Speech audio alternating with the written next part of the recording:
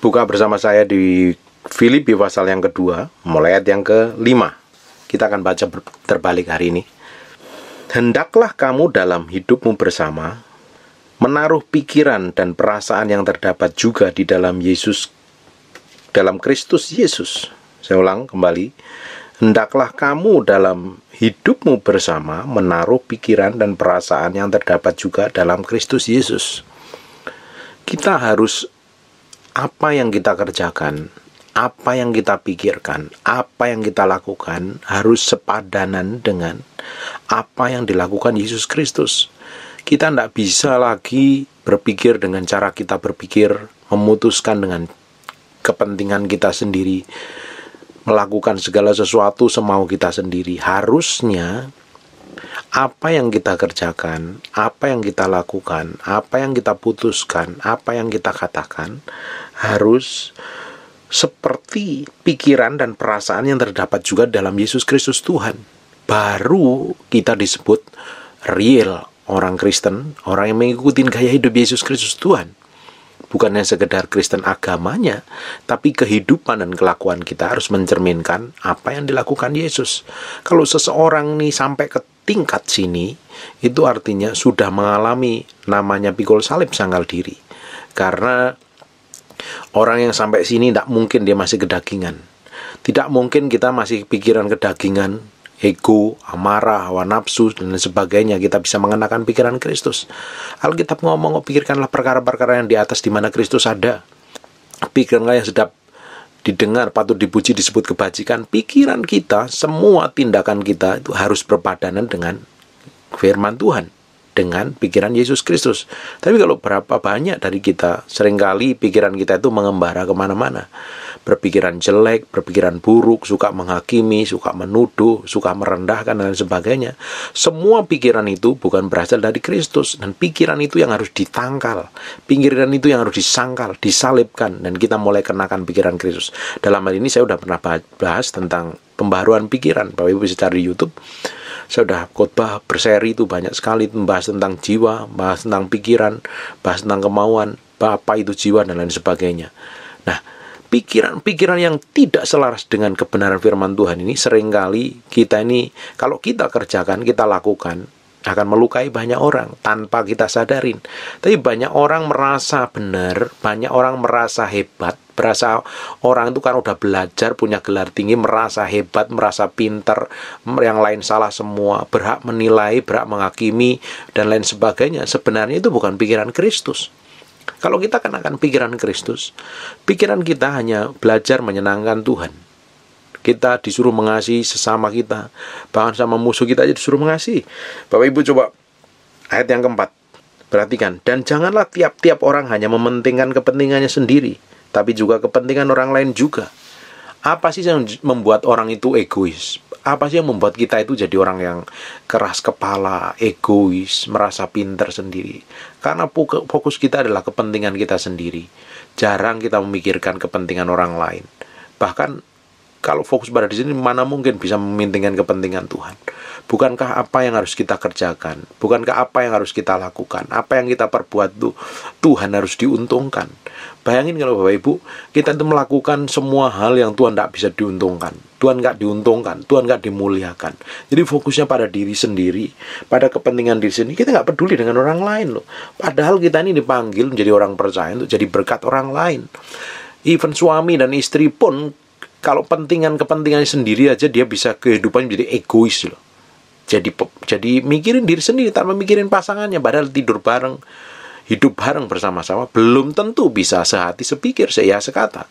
Tapi Alkitab ngomong kita harus mengenakan pikiran dan perasaannya Yesus Kristus Tuhan tuh harus manifestasi melalui kehidupan kita. Banyak orang Kristen tuh pinter ngomong tapi susah menjalani menghidupi firman Tuhan. Makanya banyak orang hidupnya jadi jadi batu sandungan. Kalau ngerti firman sedikit dipakai untuk menghakimi yang lain. Tidak berkaca pada diri sendiri. Itu firman bukan untuk menghakimi orang lain. Kita belajar firman itu bukan untuk pinter menghakimi orang lain menilai orang lain. Kita belajar firman untuk belajar menghidupi dan menyenangkan hati Tuhan. Kita tidak tidak dipanggil Tuhan untuk menghakimi satu dengan yang lain yang menilai dengan satu dengan yang lain. Kalau kita ini cenderung bisa menilai dan menghakimi orang lain itu tandanya kita hanya pentingan kepentingan sendiri Alkitab ngomong begini kok dan janganlah tiap tiap orang hanya memperhatikan kepentingan sendiri, tapi juga kepentingan orang lain juga. Coba belajar, uh, pikirin kepentingan orang lain. Kita coba belajar hargain orang lain. Kita belajar menghargai pasangan kita aja itu sudah luar biasa sekali loh. Kalau kita nggak bisa menghargai pemikiran, ide, cara pandang, atau apa pun juga yang pasangan kita pikirkan, ini yang pasangan yang dekat ini orang lain paling dekat kayak pasangan kita ini. Kita akan menjadi pasangan yang tidak bisa membuat pasangan kita itu nyaman dan bahagia kok. Kita coba paksakan sering kali cara pandang kita pendapat kita. Kita nggak paksakan untuk untuk orang lain bisa terima. Dan ketika ada orang lain memiliki pendapat yang berbeda dan kita coba tolak.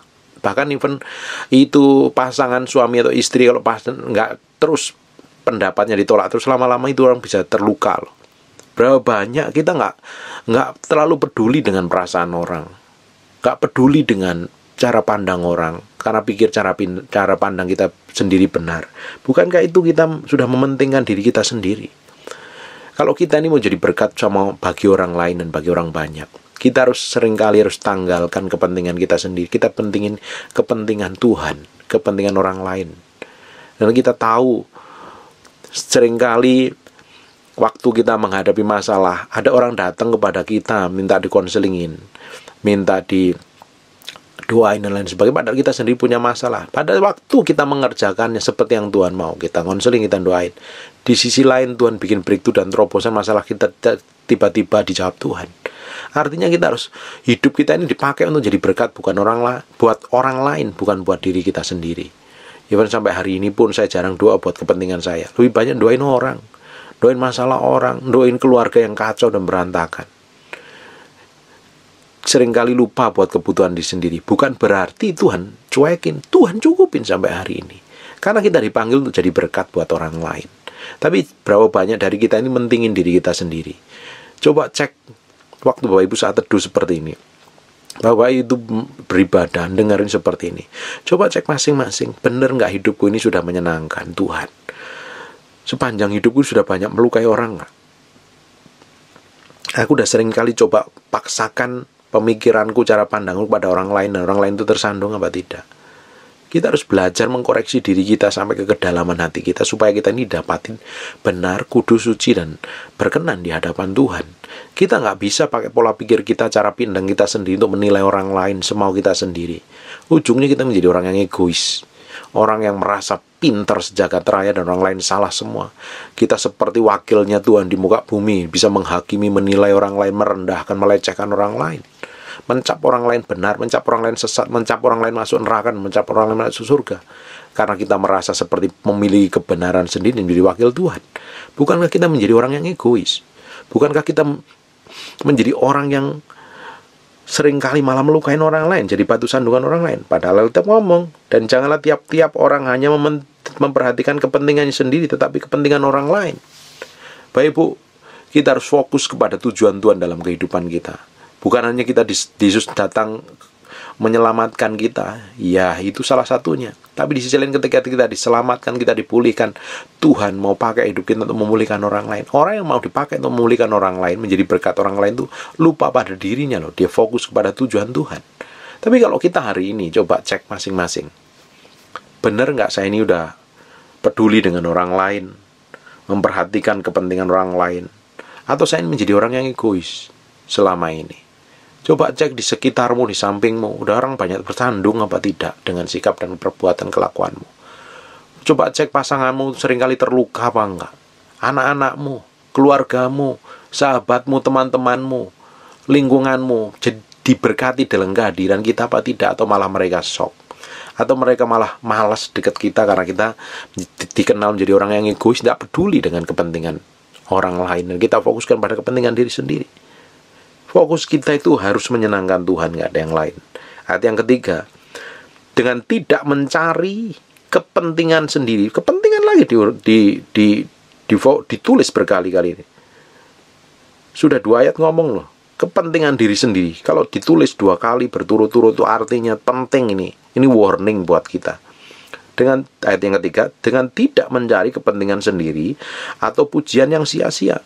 Banyak orang ingin tampil di muka umum karena ingin dapat penghargaan, dapat pengakuan, dapat pujian orang lain. Sebenarnya pengakuan itu sebenarnya nggak perlu dicari-cari. Pengakuan itu lahir karena apa yang kita kerjakan dengan kemudian ketulusan hati. Banyak orang ingin diakuin orang lain dengan segala macam cara. Tapi orang lain akan akui kita sesuai dengan apa yang kita kerjakan setiap harinya. Kalau saya ini sebagai hamba Tuhan, orang ngakuin saya sebagai hamba Tuhan bukan karena ditapiskan saya memiliki gelar pendeta. Orang mengakui saya sebagai hamba Tuhan, sekalipun saya ini nggak pajang gelar saya, karena saya menghidupin firman, melakukan firman, apa yang saya kerjakan itu sesuai dengan apa yang hamba Tuhan seharusnya kerjakan. Orang-orang yang saya layani diubahkan, dipulihkan. Orang diberkati dengan apa yang saya sampaikan. Hidup saya menjadi berkat. Orang lain tahu persis bahwa ini real hamba Tuhan. Banyak orang memiliki gelar hamba Tuhan. Tapi hidupnya tidak mencerminkan bahwa hidupan hamba Tuhan yang jadi berkat. Hanya sekedar bangga supaya diakui dapat pujian dari manusia. Buat apa? Banyak orang ngaku Kristen, percaya dan diselamatkan, tetapi kehidupannya, karakternya hari-harinya tidak mencerminkan orang yang diselamatkan, orang yang dipenuhi Tuhan, orang yang dipenuhi Roh Kudus, orang yang dipimpin Tuhan. Banyak orang ingin tampil di muka umum menunjukkan bahwa dia itu benar, dia itu baik, dia itu bisa melakukan segala macam hanya untuk dapat pujian manusia. Yang kita kejar bukanlah pujian manusia atau pengakuan manusia. Buat apa diakui manusia kalau suatu hari ditolak Tuhan? Buat apa dipuji-puji manusia suatu hari kita nggak dapat mahkota yang dijanjikan Tuhan? Saya sering kali cek hati saya sampai kedalaman karena saya ini yang paling banyak ke kelemahan ini. Seorang pengajar itu dituntut lebih. Apalagi saya sering ngomong firman Tuhan. Saya dituntut lebih melakukan firman itu. Saya harus ngecek setiap hari hati, saya ini benar nggak murni nggak apa yang saya kerjakan apa yang saya lakukan di hadapan Tuhan percuma saja apa yang saya kerjakan, saya lakukan sekarang ini gila-gilaan. Tapi satu hari saya ditolak Tuhan, buat apa? Saya nggak dapatkan mahkota yang Tuhan janjikan, buat apa? Kalau sekedar hanya sekedar mengejar pujian manusia yang sia-sia. Pengakuan dari orang lain. Penerimaan dari orang lain. Kita harus mengalami pemulihan total. Apa yang kita kerjakan, apa yang kita lakukan itu bukan pingin dilihat orang, pingin diakuin orang, pingin dipuji orang. Ini orang-orang yang pernah direndahkan, orang-orang yang pernah dilecehkan, orang-orang yang pernah nggak dianggap.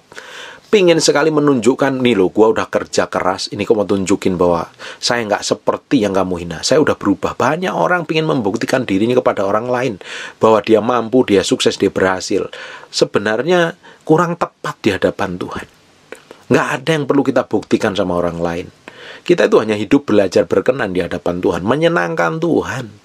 Kalau yang kita lakukan itu tepat seperti ketepatan ilahi, tepat seperti yang Tuhan mau. Apa pun yang Bapak Ibu kerjakan itu.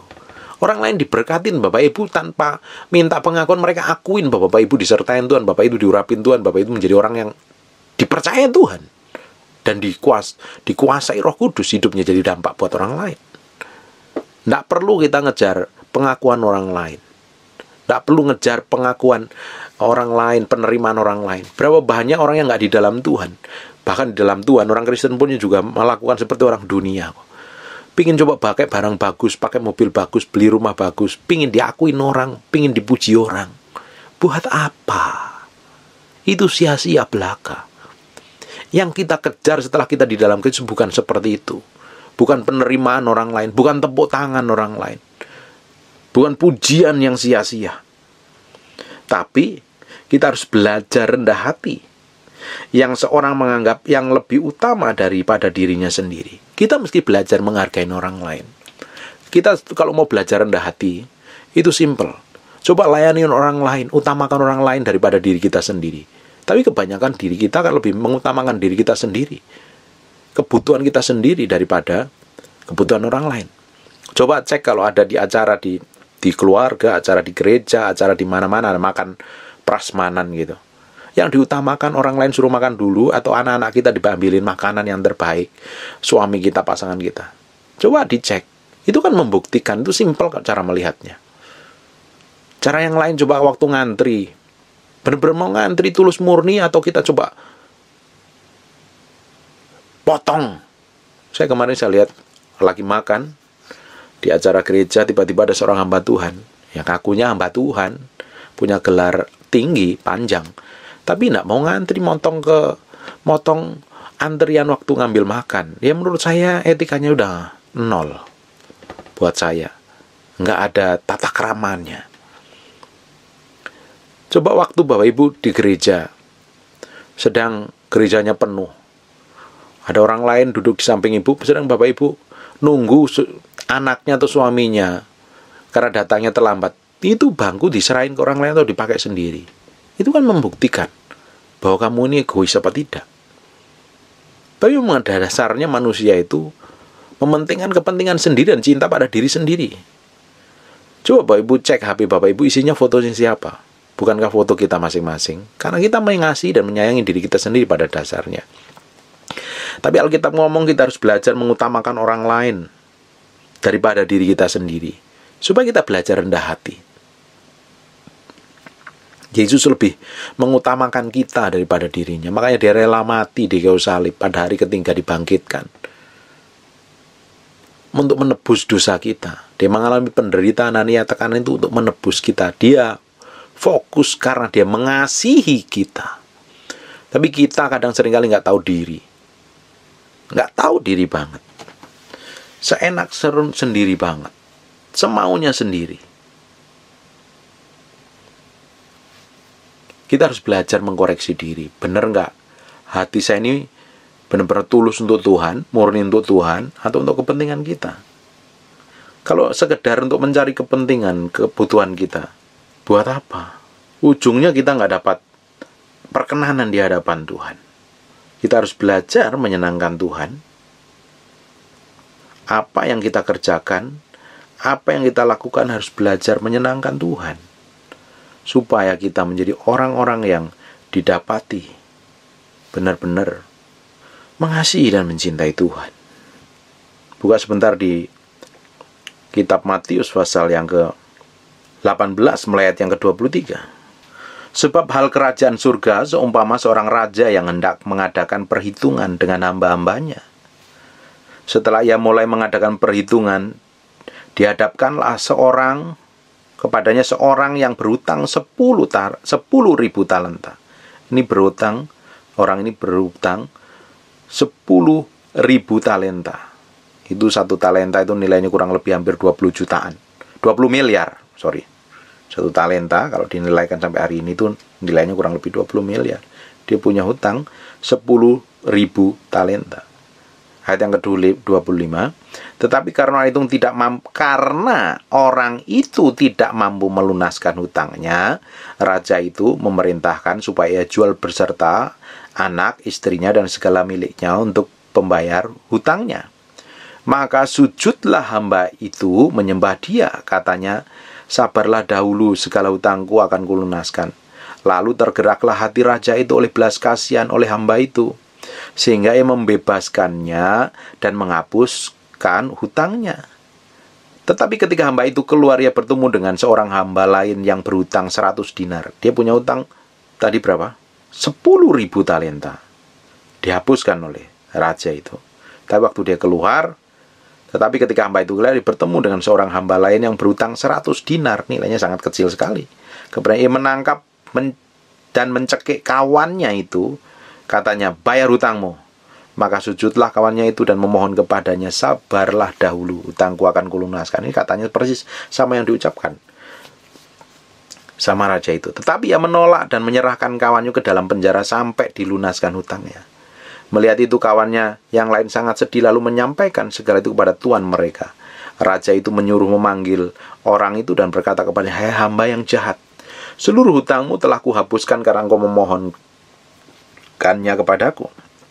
Bukankah engkau harus mengasihi kawanmu seperti aku telah mengasihi engkau?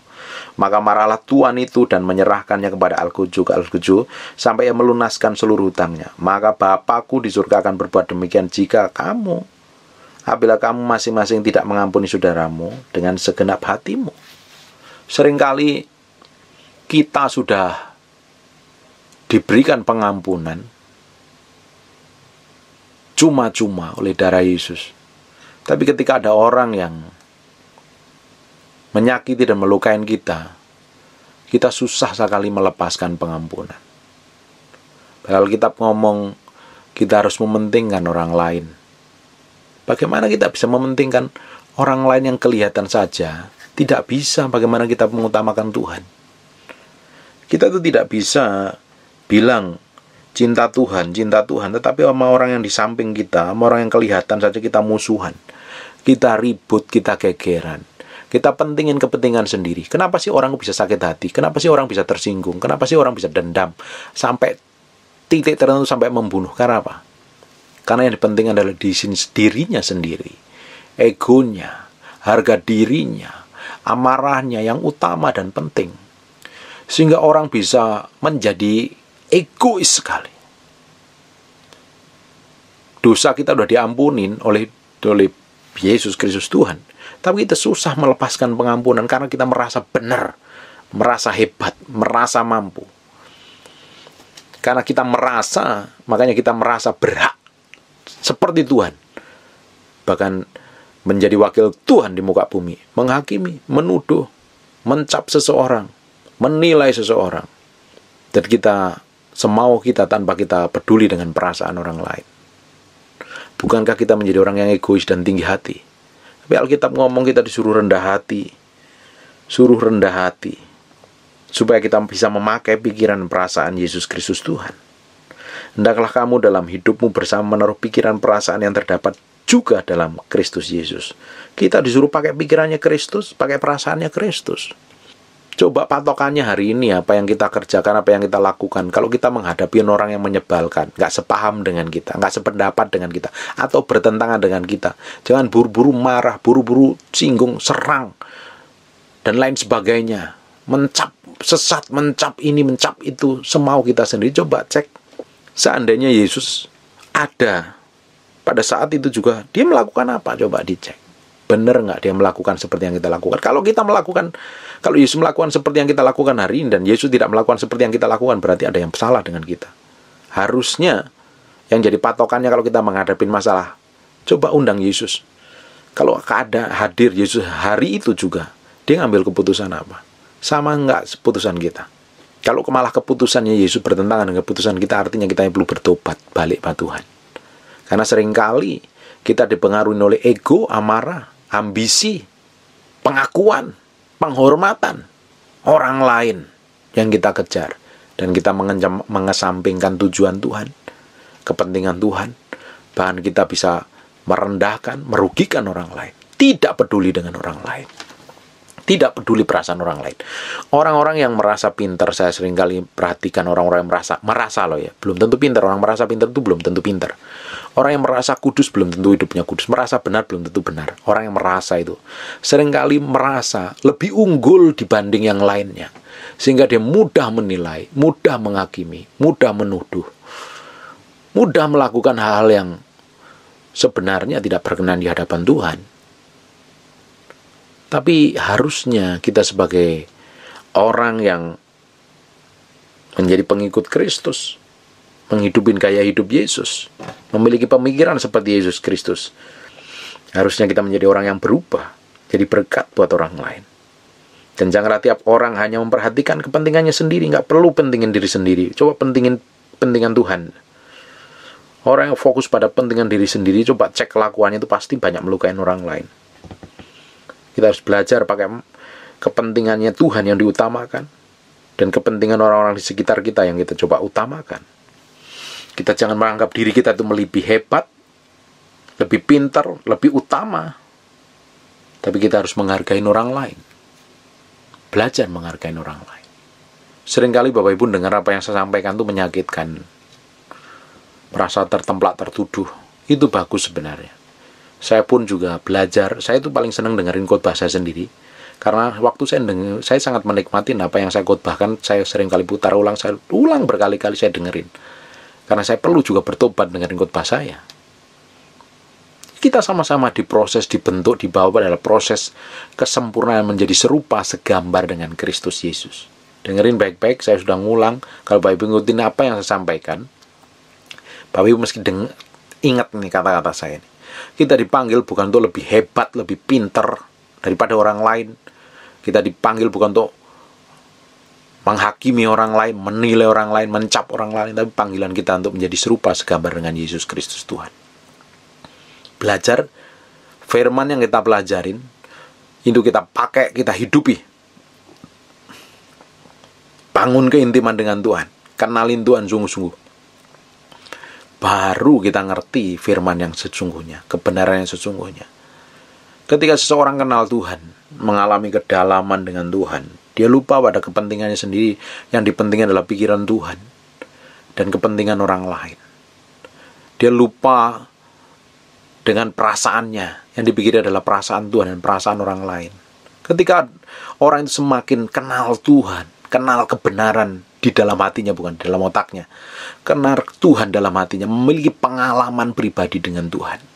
Hatinya pasti dirubah. Ketika ada orang lain nuduh, ketika ada orang lain fitnah, ketika orang lain persalahkan, caci maki, dia tetap tenang karena dia tahu kekuatannya adalah Tuhan.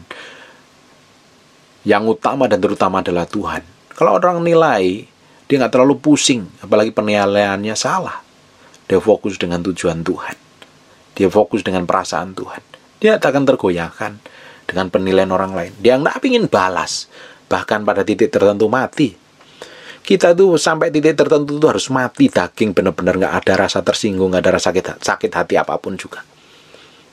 Saya berdoa suatu hari orang-orang Kristen seluruh jagat raya ini bebas dari sakit hati, bebas dari rasa tersinggung Orang yang mematikan dirinya, memikul salib sanggal diri, orang itu akan bebas dari rasa tersinggung dan sakit hati. Orang boleh ngomong, boleh tuduh, boleh maki, boleh fitnah, boleh mencemarkan nama baiknya. Kalau dasarnya kita ini kudus suci tak berkenan dan berkenan di hadapan Tuhan. Menjadi orang kesayangan Tuhan. Tidak ada yang sanggup mencemarkan. Tuhan malah promosi. Tapi kalau orang mencari pen, uh, pujian manusia ketika diserang dia marah, ditunjukkan bahwa dirinya paling benar dan dia ingin menjelaskan dirinya bahwa kepada seluruh dunia, seluruh jagat raya dirinya benar. Kita nggak perlu jelaskan dari kita benar kalau kita hidupin kebenaran. Kebenaran itu akan muncul dengan sendirinya, kebenaran tidak perlu dibela. Cukup kita berjalan dalam kebenaran, hidup dalam kebenaran, kebenaran di dalam diri kita itu akan muncul dengan sendirinya. Orang lain akan melihat kebenaran yang terpancar dalam kehidupan kita. Tidak perlu kita jelaskan kepada orang lain. Beri waktu Tuhan kalau engkau difitnah, engkau dituduh, engkau dicaci maki, engkau direndahkan, engkau dilecehkan, engkau dimaki-maki orang lain. Beri waktu Tuhan untuk menjelaskan bahwa kita ini adalah orang-orang pilihan.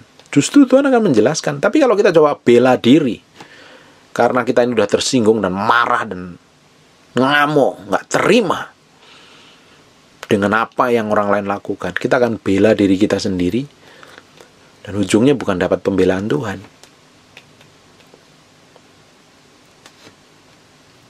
Nikmatin saja berjalan bersama Tuhan. Kita adalah orang-orang yang dikasih Tuhan kok. Kita ini kalau benar-benar berjalan dengan Tuhan setiap hari, kelakuan, ucapan, perbuatanmu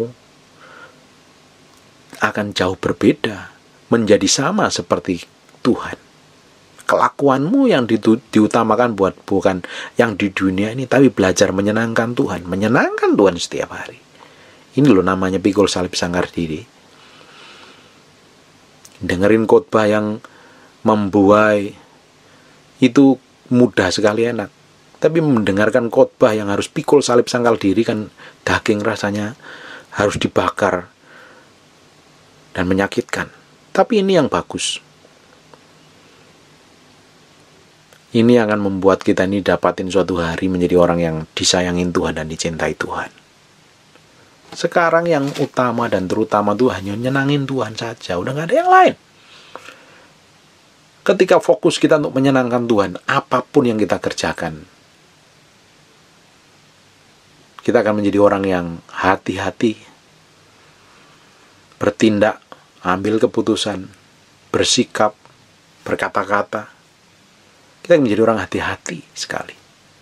Bukan karena apa-apa. Kita nggak mau segala tindakan, ucapan, kelakuan, karakter dan perbuatan kita itu menyakiti hati Tuhan. Amin. Ini makanan keras yang saya berikan. Tapi makanan ini membuat kenyang manusia rohmu. Dan membuat kuat jiwamu. Tertanam di dalam kebenaran. Tidak mudah tergoncang oleh hal apa pun juga. Orang-orang yang mengalami hubungan pribadi dengan Tuhan cara berbeda, dengan mudah sekali melepaskan pengampunan. Mudah sekali. Mudah sekali memberkati orang lain. Mudah sekali mengutamakan orang lain.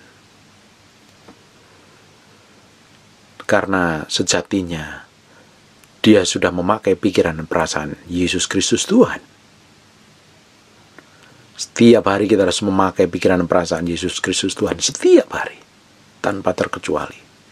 Sampai hidup kita terus dibawa mencapai garis akhir dan dapatin finish dengan menyenangkan hati Tuhan. Hari ini hanya menyenangkan Tuhan yang kita utamakan. Dampaknya besar. Dampaknya dari apa yang kita komitmenkan dengan Tuhan. Kamu bekerja hati-hati loh. Kamu bekerja punya tanggung jawab. Apa pun itu. Jadi orang yang hidupnya berkenan di hadapan Tuhan dan menyenangkan Tuhan. Amin. Saya berdoa Tuhan Yesus memproteksi, menjaga, melindungi dan Roh Kudus memberikan kekuatan ekstra untuk kita hidup berjalan sampai finish strong, mencapai garis akhir dan menyenangkan Tuhan. Menyenangkan Tuhan dan menyenangkan Tuhan. Belajar menyenangkan hati Tuhan. Belajar menyenangkan hati Tuhan. Dah, itu saja. Kenalin Tuhan secara pribadi. Belajar senangkan dengan apa yang kita kerjakan dengan hidup kita. Amin. God bless you.